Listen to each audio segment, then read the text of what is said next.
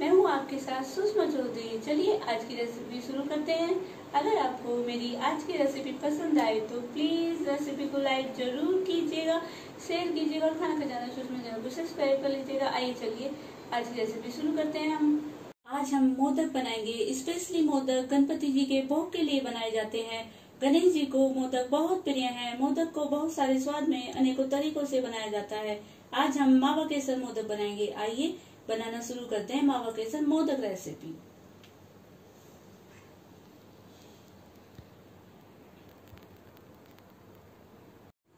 मावा केसर मोदक बनाने के लिए हमने ये एक कप भर के मिल्क पाउडर ले लिया है, एक कप भर के लिया है डेसिकेटेड कोकोनट ये लिया है हमने देसी घी, ये लिया है हमने powder sugar four tablespoon ले लिए है। ये लिया है हमने चार से पाँच ग्रीन छोटी इलायची, इसे हमने कूट करके ले लिया है। ये लिया है हमने केसर मिल्क मोदक में स्टफिंग भरने के लिए हमने ये कुछ ड्राई फ्रूट ले लिए हैं। ड्राई फ्रूट में लिया है हमने बादाम, काजू ग्रीन पिस्ता और कुछ गुलाब की पत्तियाँ, जिन्हें हमने बारीक चॉप करके ले लिया है। तैयार कर लेते हैं मावा केसर मोदक रेसिपी मोदक तैयार करने के लिए हमने ये एक पैन ले लिया है। सबसे पहले हम पैन में डालेंगे एक स्पून देसी घी। अब ऐड करना है हमें एक कप भर के मिल्क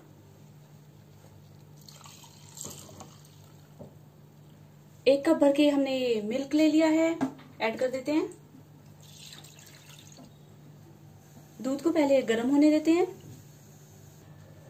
दूध हमारा गर्म हो चुका है। अब ऐड करेंगे हम इसमें मिल्क पाउडर फटाफट से इंस्टेंट मावा तैयार कर लेते हैं। इंस्टेंट मावा हमारा रेडी है। अब ऐड करेंगे हम इसमें शुगर पाउडर मैंने sugar four tablespoon add करी है। आप अगर मीठा थोड़ा सा ज़्यादा पसंद करते हैं तो थोड़ा सा ज़्यादा भी डाल सकते हैं। तो शुगर भी हमारी अच्छे से मिक्स हो चुकी है मावे में। अब ऐड करेंगे डेसिकेटेड कोकोनट ऐड कर देते हैं और, और अच्छे से मिक्स कर देते हैं। और साथ ही ऐड कर रही हूँ मैं इलायची पाउडर मिक्सर हमारा रेडी है।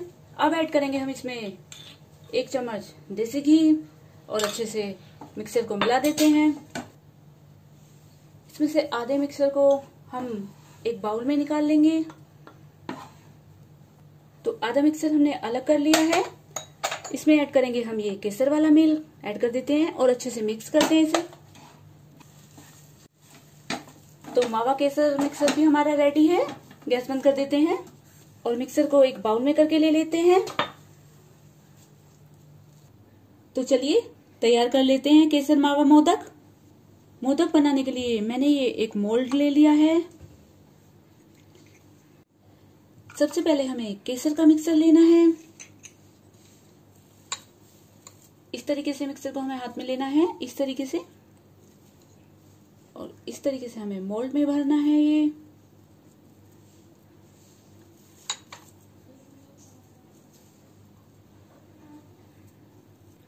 और इस तरीके से हाथ से फैलाते हुए हमें इसमें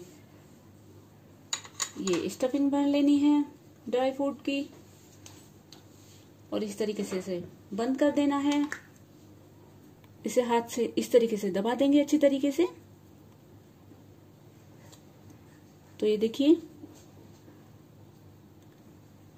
केसर मोदक हमारा एकदम रेडी है। इसी तरीके से और भी बना लेते हैं।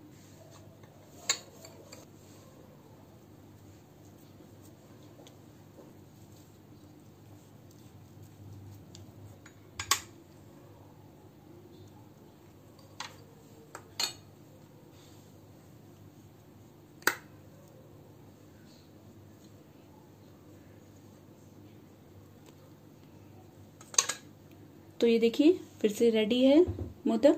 इसी तरीके से सभी मोदक रेडी कर लेते हैं। तो एक मोदक मैं आपको हाथ से भी बनाकर दिखाती हूँ। इस तरीके से हमें मिक्सचर लेना है, इस तरीके से। और इसे मोदक की सेप देनी है हमें, इस तरीके से। तो ये देखिए, मोदक की सेप एकदम तैयार है। अब हमें एक स्पून लेनी है इस तरीके की। और इस तरीके से हमें इस पे इस तरीके से निशान लगा देने हैं, इस तरीके से।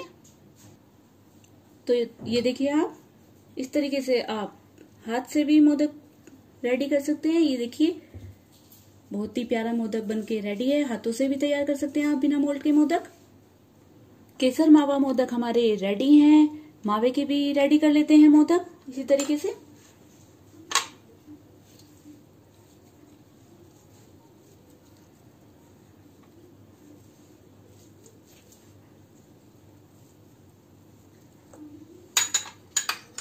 ड्राई फ्रूट भर देते हैं।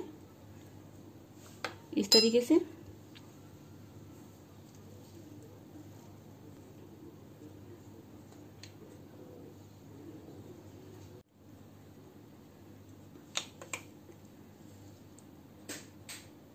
तो ये देखिए आप, मावा मोदक भी एकदम रेडी है। इसी तरीके से तैयार कर लेते हैं सारे मोदक। तो ये लीजिए आप। इसी तरीके से सारे मोदक बन के रेडी हैं। ये देखिए आप, सभी मोदक रेडी कर लिए हैं हमने इसी तरीके से। तो ये लीजिए आप, गणपति जी के भोग के लिए मावा केसर मोदक एकदम रेडी हैं। अगर आपको मेरी मावा केसर मोदक रेसिपी पसंद आए तो रेसिपी को आप अपने फैमिली और फ्रेंड्स के साथ भी शेयर कीजिएगा लाइक कीजिएगा शेयर कीजिएगा और खाना खजाना सुषमा चैनल को सब्सक्राइब कर लीजिएगा। Thank you